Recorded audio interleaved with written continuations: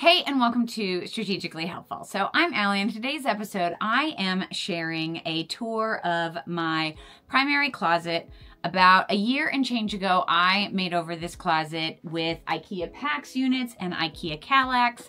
And I've had a year to live in the closet, really fine tune all the different areas. And I know that when I was in the process of making over this closet, I looked online for a lot of videos to get inspiration and insight into the best way that the closet would suit my needs. So that's my intent with this video, is to share my thought process, my methodology, what I found works the best, some of the things that didn't work out for me. And I hope that in sharing this video that if you are also considering making over your closet with IKEA PAX, maybe you'll get some helpful insight or tips from what I have to share. So I'm just gonna get into the video.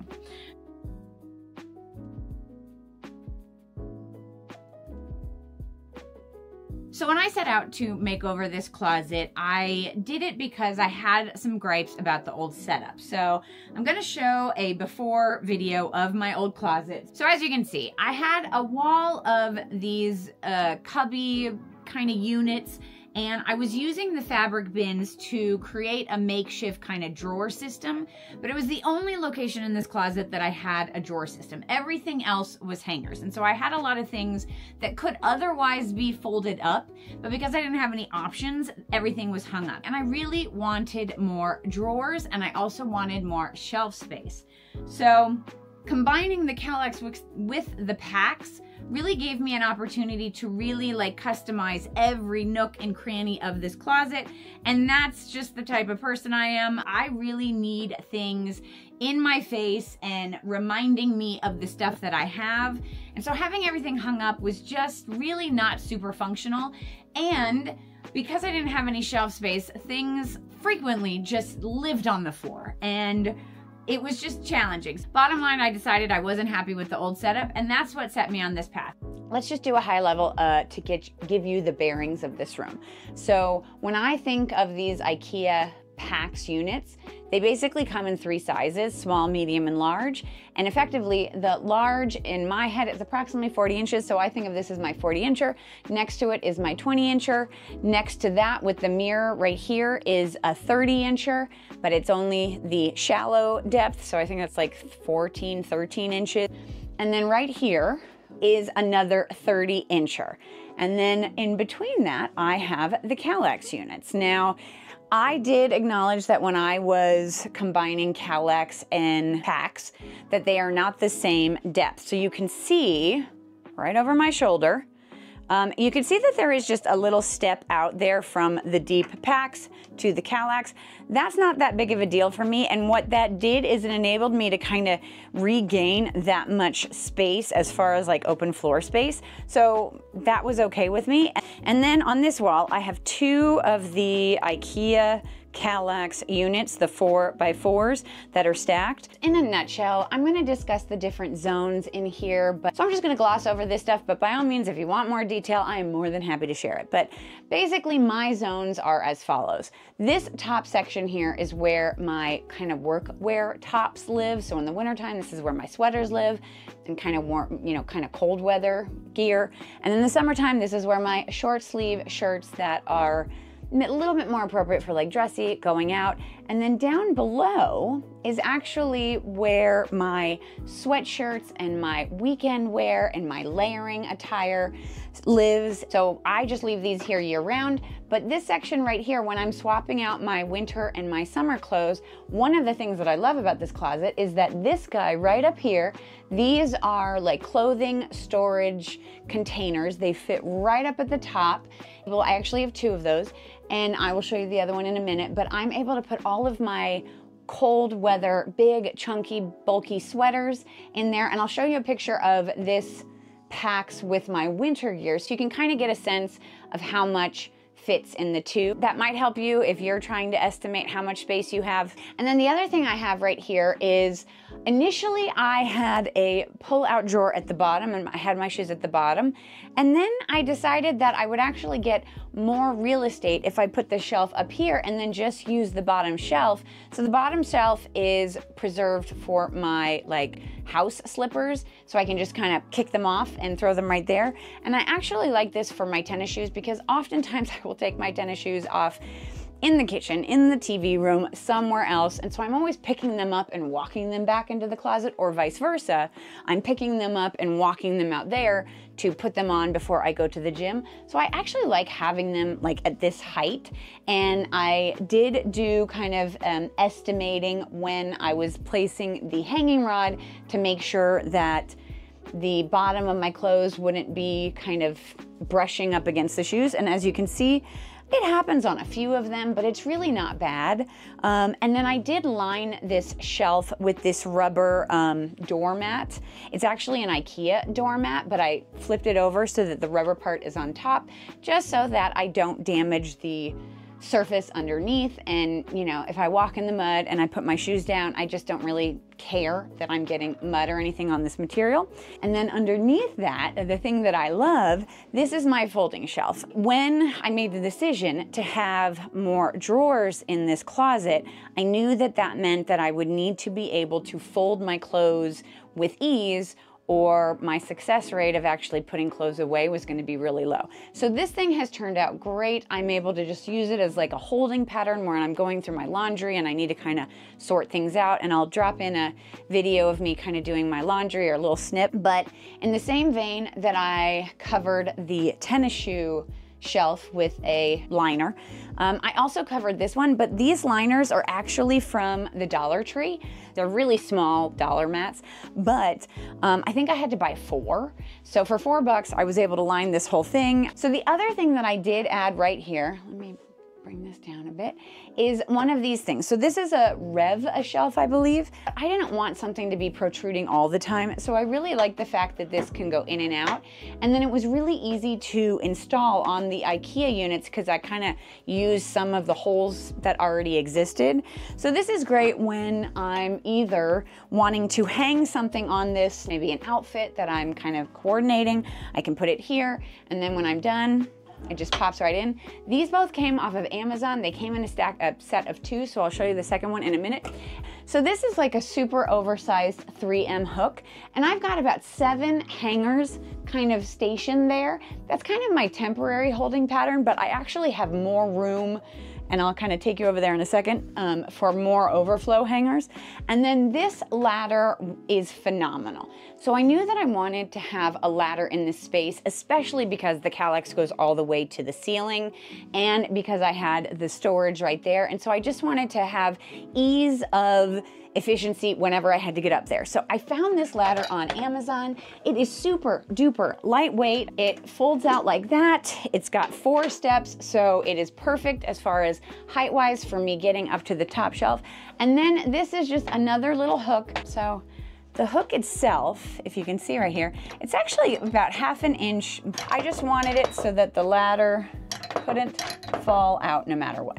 So so now let's come over and talk about the 20 incher. Now I did have to kind of overlap these a bit. So I would say probably about half of the 20 incher is slightly obstructed, but it's really not bad because I can reach in and get, let's see, can I show you? Like I can reach in and touch the edge really, really easily. And this space is dedicated for all of my like full length dresses, skirts and whatnot. There's my surplus hanger collection. So that's where the rest of it lives. And then still I'm able to access all the dresses that are in the space. And then the shelf at the very tippy top up here, that's just kind of overflow for shoes or supplies. Um, and then the same thing down here. So down here, I did the, kind of the same thing that I did with my folding shelves. I lined these shelves because I knew that I was gonna be putting boots on these and I just wanted to protect the surface, but this is just set in there. The shoes are kind of keeping it in place. It's not attached. And so these three shelves right here are where my tall um, boots with the tall kind of ankles live and just kind of any kind of shoes that don't fit in the other space that's dedicated for my shoes. Hold on, my dog is losing his mind because he can't be in it. Come on in, come on in, come on in. All right, my dog is freaking out because I'm in here, so he's gonna join us for this. Okay. So moving around the room, next up is the mirrored cabinet. So initially, this cabinet actually had a lot of things that I started with and then learned they weren't the best choices and I swapped them out, which is what's so great about IKEA. So initially I started with the all full length mirror doors that IKEA sells. It's actually cheaper than the doors that have the frame on them. And when I installed those doors, it kind of felt like a dressing room in here. Um, it is kind of confined just a little bit and it just didn't feel like a closet to me. So I swapped those out for the ones with the frames. They were more expensive, but in the end, I am glad that I did it. And that frame style actually matches the drawers that I'm gonna be showing in a minute. And then the other lesson I learned was I initially started with drawers, the mesh drawers that IKEA includes for the PAX. And I'll insert a picture of having the mesh drawers. But what I realized is I didn't want to have the hassle to open up both doors every single time I was putting clothes away. That was like so much work. I was like, I know this is gonna be too much friction and I'm just not gonna be diligent about keeping the space clean. So in the end, I returned all of those mesh drawers and I went with the shelves and I am much happier for it. We'll talk about the parking spots in a minute, or at least what I call the parking spots. But first, um, the other thing that I chose not to do, IKEA does have the pull out kind of cloth laundry bags and I think those are awesome, but my laundry room is across the house. And so I wanted to be able to take my laundry basket, take it all the way to the laundry room and then leave this basket in that space while the clothes are being washed and then load the clothes back into the basket and bring them back in here to put them away. And say, I want to put something on top of the laundry basket. I don't necessarily want to put it in the laundry, but I don't know if you're like me. Sometimes I wear my pajamas a couple nights in a row. I just wanted to have kind of like a parking lot option. So Love that about these. And yes, I do pre-sort my laundry into lights and darks. So of course, when I bought these, of course, I'm gonna buy the proper colors. And then the rest of the space, I have talked about this in one of my videos in the past, but so in the end, I decided I didn't want to have my pants stacked because again, I know myself too well and I'm not gonna be diligent enough to keep those stacks in a nice tidy order. And I just didn't wanna have like wonky stacks that would kind of topple over. You can see in the top here, these guys are my corduroy pants that I wear in the wintertime. So those are just gonna live up on the top shelf and then when the weather changes, I will swap those for the pants right here. These are my hiking pants that are really great in Las Vegas in 100 plus degree heat. So I just love the parking spot organization because especially for my jeans down here, some of my jeans are capris, some of my jeans are boot cut, some of my jeans are skinny. I've got a whole variety. And when I was folding them the way that Marie Kondo kind of taught me, I realized that it was really hard for me to identify which pair of jeans is this from my vantage point. So in the end, I love this. It's bookends that I just taped together with duct tape. In fact, that is why the duct tape is still in here. So if you'd like to know more about that, there is a video. I will link it right here. I think that's, I don't know which corner it's gonna be. Um, so I will link it if you'd like to see that. But that is the mirrored closet. Okay, jumping from the mirrored cabinet, I'm actually gonna finish talking about the PAX and then I'm gonna focus on the Kallax. So this is the final PAX wardrobe that I have in here. This is the 30 incher. So as you can see up here, I have the second of the two winter clothes storing items. And so it fits right up there, phenomenal. Then just have the same rod and I have the same Rev a shelf and then coming down, I went with a glass shelf here, and that was mainly to ensure that I remember that underneath this shelf, I have this drawer right here. So I am 45, my eyesight is going, so I know that I am going to be needing glasses. In fact, I've already started buying cheaters and my sunglasses, and so I just like having this dedicated space for these accessories that I know I'm gonna need in the future. Now, this is actually a hack that saved me $50. This is the UPPDATERA kitchen utensil drawer insert that IKEA has in their kitchen section. I made a video about this um, and I'll link it right here. But this is actually like $12, I think, and all I used was some fabric glue to glue these together. No, it doesn't fit in this section as nicely and as like perfect like a glove as the ones that IKEA sells, but they are like 50 bucks. And so I really liked this to save money. And then the, these are the black boxes that you can get from IKEA. And so they just fit nicely. Again, I kind of prioritize function over form. So the fact that it doesn't fit perfectly does not bother me whatsoever. Saving 50 bucks or more, definitely eh, I'm in favor of that. So then moving down from here. So these are those shelves that I said match the frame of the mirror. I know that I do really well when I have labels that reminds me of what is inside the thing that I can't see. Uh, and if you can't tell, I definitely rely on labels to tell me what is in everything. Um, but for me, I find that it's really functional and helpful. So I even did that right down here behind the handles. And in the closet here, I decided to use like icons instead of words just because I felt like you know, words belong in the office, icons belong in the closet. So this first drawer is my socks. So I have created subcategories in here. Some of these drawer dividers are from IKEA, some are from Amazon. Some I just kind of utilize the negative space outside the organizers. This is not Marie Kondo approved probably. All I do is just fold them, kind of a tri-fold like that, and then just stick them in. They stay relatively tidy. As you can see, these don't have that kind of same style. It is what it is. It's just what, what works for me. Then this drawer, very similar. These are kind of just my hanging around lounge tops and um, like sleep tops or tank tops for the summertime. My next one is my long sleeve tops or my collection of supplies when I am using the sauna bed. So because I have a sauna bed, I wear long sleeves in that setup. So everything lives here. Then this last one is, second to last one, is my boxer shorts and my pajama bottoms. Basically all of my pajama bottoms live down here.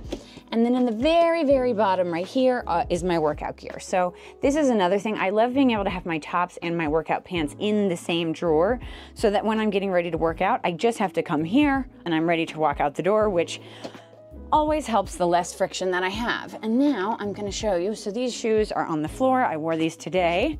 So that's a perfect opportunity to come over here and show you my shoe setup. So this is the bottom of the Kallax. So I'm gonna kind of scoop back. And Bruce, I really beg of you. This is where I keep all my shoes. Again, I really like having everything that I own out in the open so that I see it and I remember it and I reach for it when I want it. And it just works for me. It is definitely far from the minimalist aesthetic that has been really popular in recent years, but that just doesn't work for me. If I try to put everything away, I forget I own it and then I end up with 14 of the exact same pair of shoe, as evidenced by this section, because I forget what I own. So for me, I want everything out and I also want to be able to reach for it easily. So as you can see, I kind of just have the shoes stacked on top of each other. And then these are the IKEA, I think of them as like the H inserts, but they're basically just a shelf insert that goes right in. This is another accessory from IKEA that offers hanging kind of from the top as the bottom.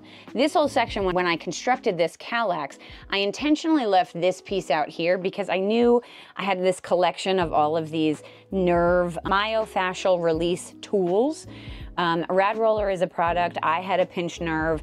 Their products are absolutely phenomenal. They come out with all kinds of things like yoga blocks and these peanut balls.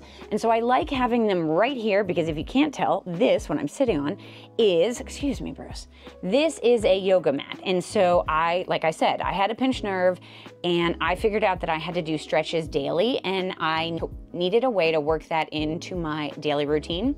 So now, as you can see, I'm basically sitting on the floor right now.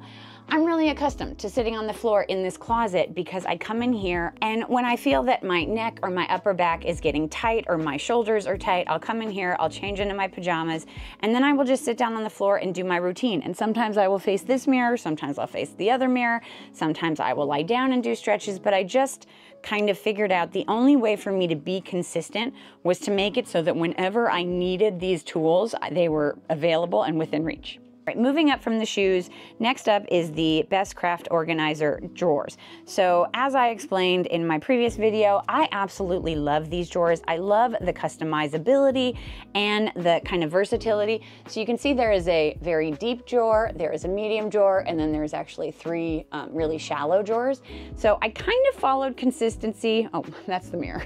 I kind of followed consistency across, and then this one, I just did three of the deep. And when I say deep, these are really, really deep. I have an entire first aid kit in here. I have some kind of first aid bandages in here. This is like medicine and um, the you know COVID tests. And these are the different medicines and cold and flu stuff. And the very, very top, this is my collection of band-aids. So I just don't have the time or interest. I know this is contrary to what we just saw in my socks. But for band-aids, I never know what I need when I'm gonna need them. So I just wanna be able to shove them around, find whichever one I need. And it's just great to come right here. I have a little bit of skin protectant. I love these drawers for that. And then the other nice thing is that, oh, this one's empty. They come right out. So if I ever need to take those somewhere else, if I had any reason to, so I've kind of showed these before, so I'm just gonna go through them really quickly. This is a divider that a Best Craft Organizer offers. You can just have them empty. You can store just all kinds of different things in there. These are cords for the different like electronics and appliances that I use specifically in my bathroom. I'm pretty sure, yeah, see, I'll either handwrite on it or I will use a label maker, whatever works, as long as it's functional. Um, over here, I have my earrings. So I divvied up my earrings between kind of posts, then tiny hoops because I absolutely love tiny hoops, and then my larger dangly. I am kind of gearing up to do a major purge of a lot of stuff that I just haven't touched for close to a decade. This is just kind of overflow. This is one of the um, surplus boxes that came with the sunglasses. Me, but I have like cleaning cloths and all the different cloths for the sunglasses. Lastly, over here is, this is actually my nail uh, care kit. So I actually got um, my manicuring license way back in the day, and so I'm able to do my own nails. So this is where a lot of my nail supplies are stored. This drawer isn't completely empty. And I love the fact that I have so much crap in this closet and yet I still have space to grow if I ever want to. So this shelf is kind of just a parking lot. So you can kind of see the wall back there. Well, right to the left of this, I had an electrical outlet added on that wall. And you can see right down there, I have an outlet because one day I do hope to actually put a red light panel on this wall. And so I, I, wanted to have the appropriate extension cord right there so that I could add that. And now my now Bruce thinks it's a toy. Excuse me, don't do that. So yeah, that is a goal for a future day. All right, back to the Kallax. So this is just kind of a parking lot for, first of all, it's a shelf. So it's just kind of a parking lot and a shelf for things like my steamer. This is my anti-wrinkle spray when I'm being lazy and I don't want to steam. I've got kind of some overflow body lotion in here. And it's just nice to have a place where things can just kind of live. It doesn't get too cluttery. And then when I need to, I can kind of find a home for them.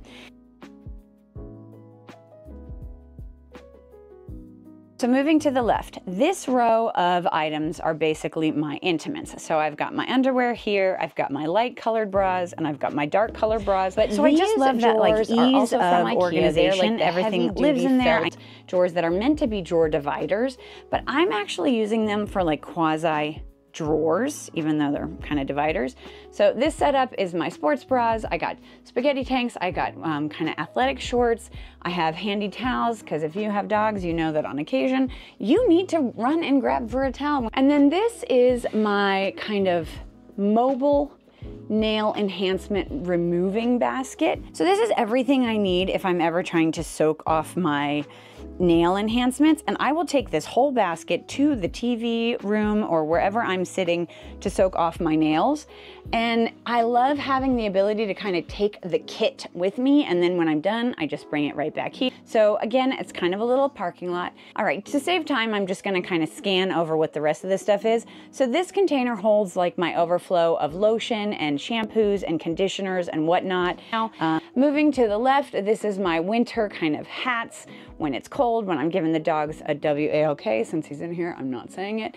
This is uh, like my overflow hair styling. I've got rollers in there. I've got a sp spare blow dryer in there. There is a my one-piece bathing suits. Above that is my two-piece bathing suits. Moving to the right is the appliances, so you can kind of see I have a steamer and a clothing shaver icon. That basket has not gotten a label yet, so I can't even tell you what's in there. and then on the far right is my ball caps. So they're all stored there. And then at the very tippy top, this entire row is basically my collection of travel supplies.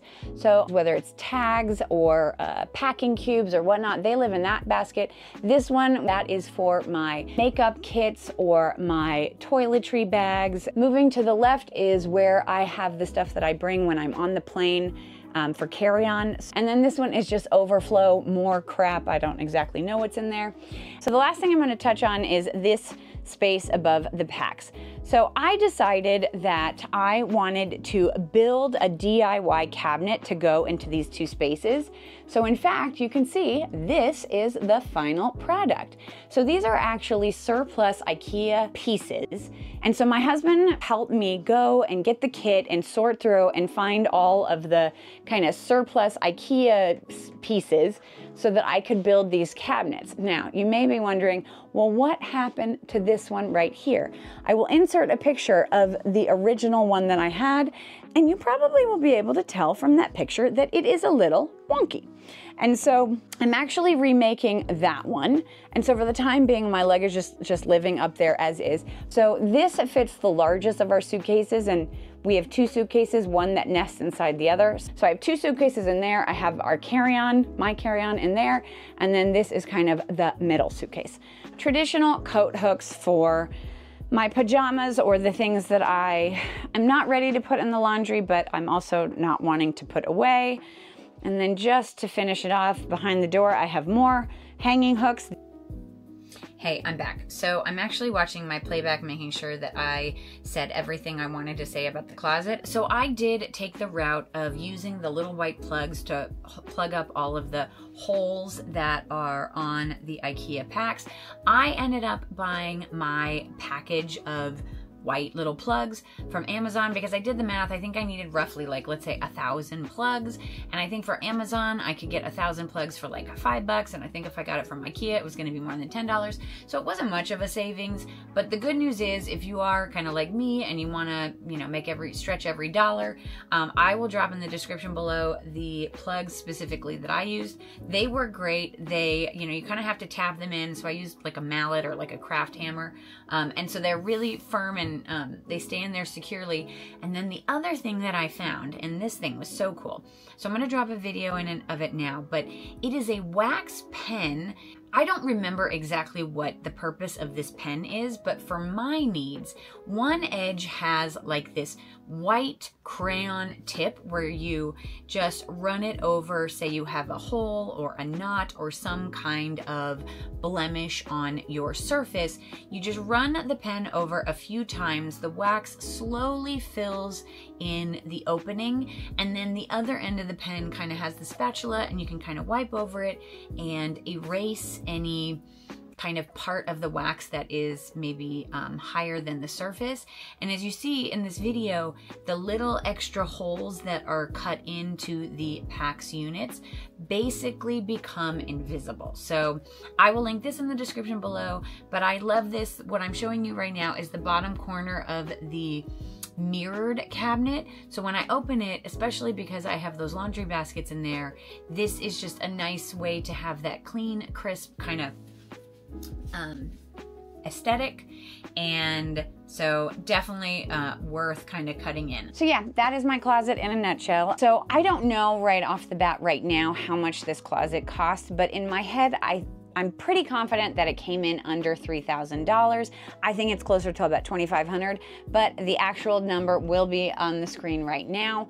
Those fabric bins that have the weave, those are actually from Target and they are just, or at least at the time that I purchased them, they were $10 a piece, whereas the closest kind of equivalent that IKEA has was $12. So but yeah, so that is my closet. I hope that these tips and insights and things that I shared are helpful for you in your journey. If you enjoy this kind of content, then definitely consider subscribing because this is the kind of stuff that I love talking about. I have another video that I did from my kitchen and one that is in the works. I made over my studio office closet. That one I did with just Kallax and I actually didn't buy any accessories. I got the Kallax used. I have another one of these kind of tour videos coming up as soon as I finish that project. If you got value out of this video, please give me a thumbs up. Not only does it benefit me, but it also helps the algorithm to know the kind of content that you enjoy. And so the algorithm will serve you up more content that's in line with your interests and tastes.